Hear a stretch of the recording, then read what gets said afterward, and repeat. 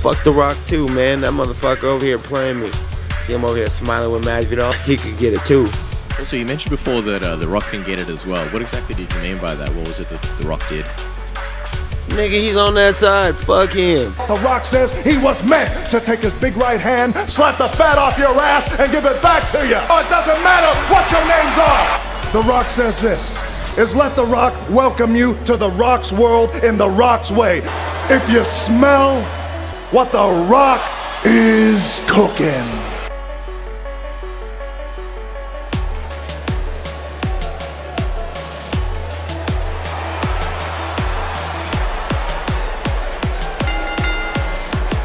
The following contest is a steel cage match. Making his way to the ring from California, weighing in at 170 pounds, Nate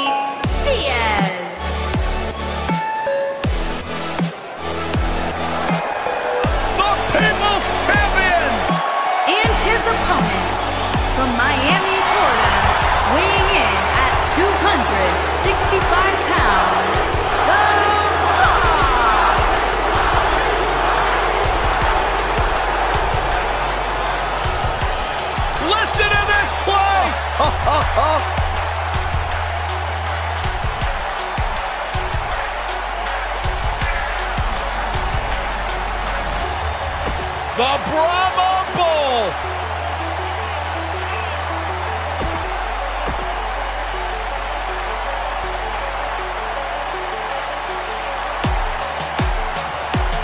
You can feel the electricity running through this arena. This is going to be some battle.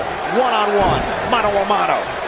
These guys are undoubtedly going to give us a show here tonight. Despite his busy schedule, the only thing that Brahma Bull wants to do now is lay the smackdown on his opponent.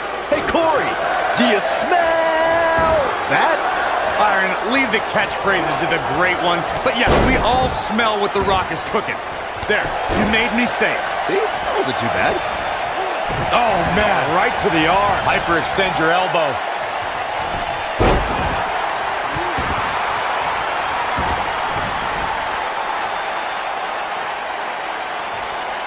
We talk about how important stipulations are in a steel cage match. If superstars sign a contract where the only way to win is escape the cage and have both your feet touch the floor, the competitors must have a plan. Especially since you have to be comfortable trying to escape through the cage door as you do climbing over the top of the cage and vice versa.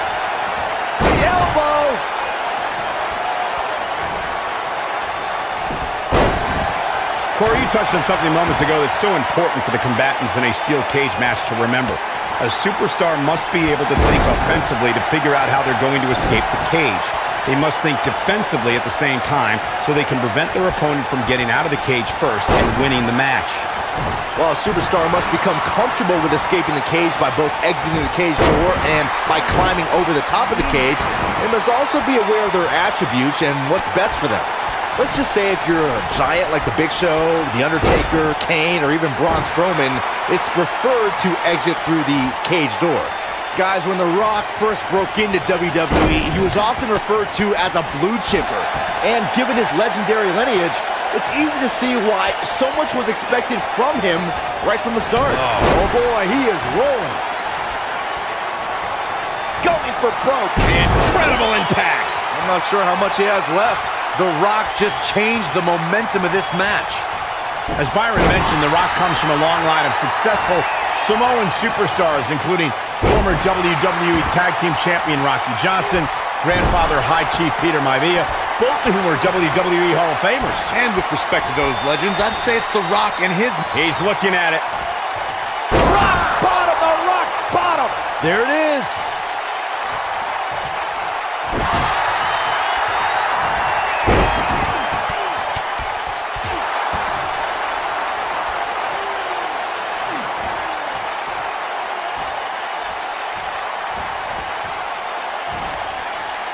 According to historians, the twisted metal that we see as part of steel cages today dates back 80 years.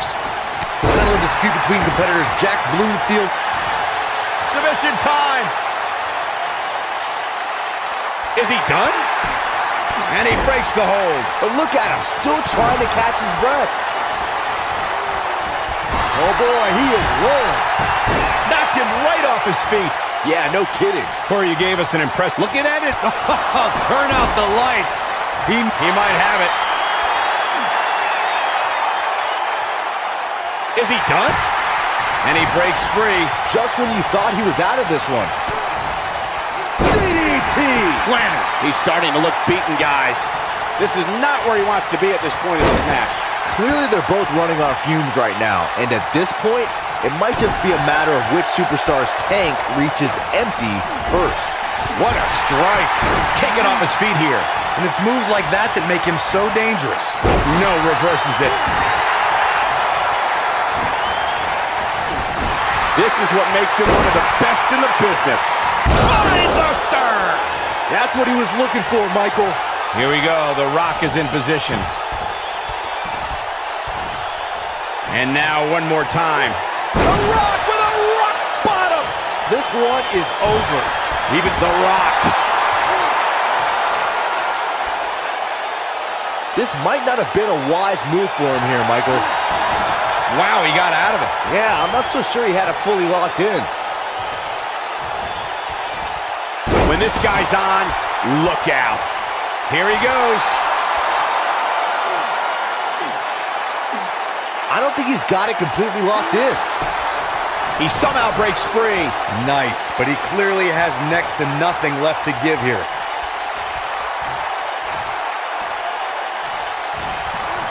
Beautiful technique. And I think it's clear that The Rock is feeling the physicality of this match. And I'm not sure he even knows where he is. The look on his face right now tells me he'd rather be anywhere else in the world than inside that cage right now. This one could go either way, guys. It might just come down to which superstar is the next to make a mistake.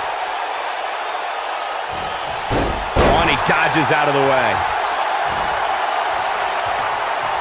He's look good night. Good grief. This is his opportunity to win this thing. Here he goes. This just ain't gonna do it. Way to win a singles match. Now let's get another look at some of the high points of that one.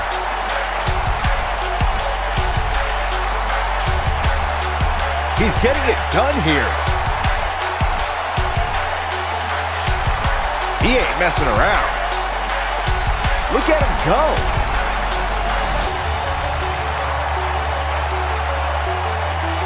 He really put on a great show.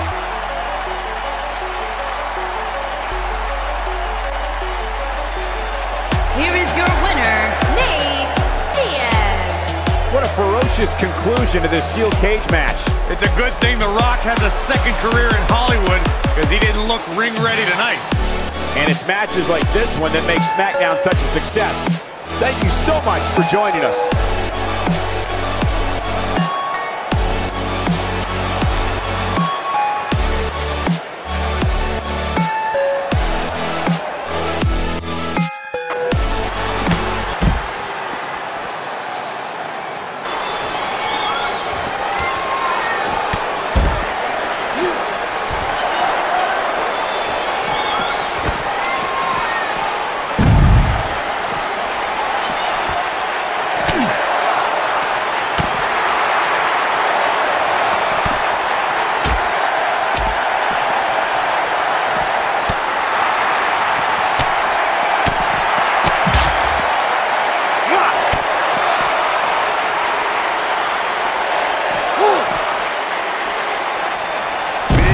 Slam.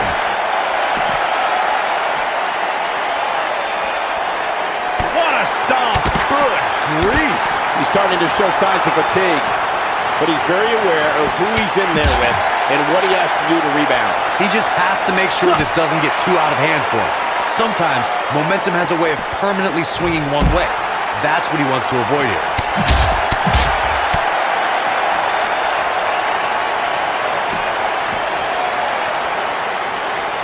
Slam. Here comes The Rock.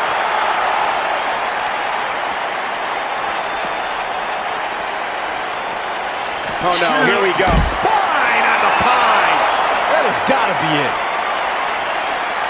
Rock setting it up. Rock bottom. That's what he was looking for, Michael. I think that slam caught us all off guard.